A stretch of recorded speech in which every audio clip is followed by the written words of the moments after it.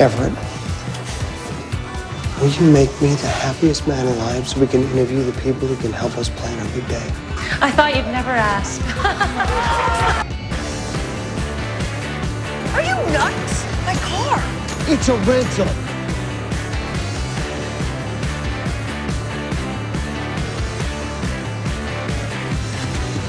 Girl. You let a girl stop you, dude. A girl. He let a girl. Really? A girl? You guys really don't recognize who this is? It's Kim Kardashian.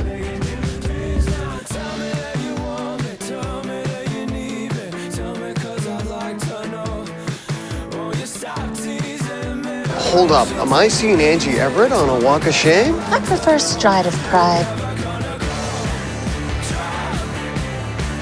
What are we doing? We're role playing. And I am your arm candy.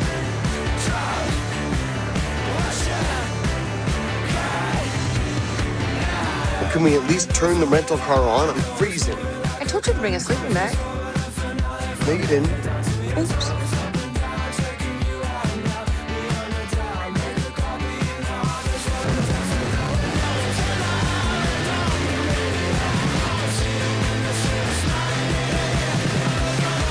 I'll have a Majesty Burger combo, but instead of relish, I'll take pickles, a sesame bun instead of plain, hold the onions, add hot peppers, and put the special sauce on the side.